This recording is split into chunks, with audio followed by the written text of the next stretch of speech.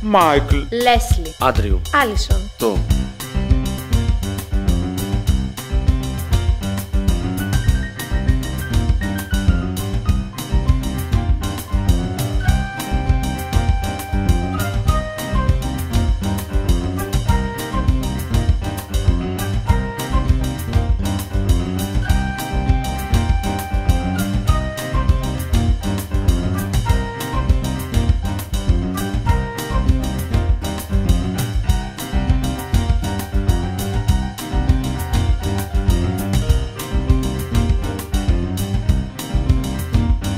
Δείξε μου δύο ευτυχισμένους ανθρώπους και εγώ θα σου δείξω τουλάχιστον ένα ψεύτη.